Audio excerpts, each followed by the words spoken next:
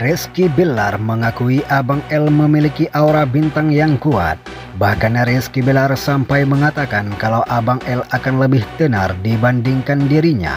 Hal itu bermula dari Rizky Bilar membawa Abang L yang diundang menjadi bintang tamu di podcast Gilang Dirga belum lama ini. Dalam acara podcast Gilang Dirga, Abang L terus merespon perkataan lawan bicaranya Meski saat itu Abang El hanya berteriak, ia tampak seakan mengerti ucapan Gilang Dirga. Aksi Abang El yang merespon Gilang Dirga itu sontak menjadi sorotan publik. Menurut Rizky Bilar, Abang El yang terus merespon pertanyaan dari Gilang Dirga itu membuktikan bahwa sang anak akan menjadi bintang. Bahkan, Abang El kemungkinan akan lebih tenar dari sang papa. Terlebih podcast pertama Abang L dalam kanal YouTube Gilang Derga itu sudah ditonton 2,5 juta penonton.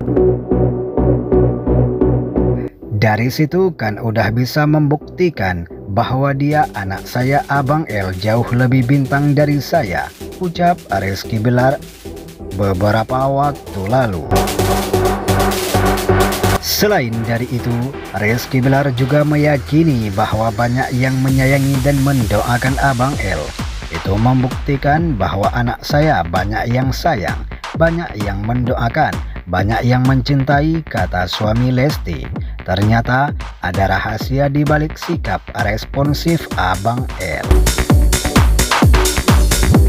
Diakui Rizky Bilar, ada hal yang sering dilakukannya sejak Abang L masih dalam kandungan Lesti Kejora. Suami Lesti itu mengungkapkan kalau dirinya sering mengajak Abang L ngobrol sejak masih dalam kandungan Lesti. Saat masih di dalam kandungan pun, saya sering ngajak ngobrol, kata Rizky Bilar. Seperti yang diketahui, Abang L memang sangat responsif jika sedang diajak bicara. Dikatakan Rizky Bilar, Abang L kerap merasa gemas dengan lawan bicaranya. Ya anaknya responsif, sama saya juga begitu.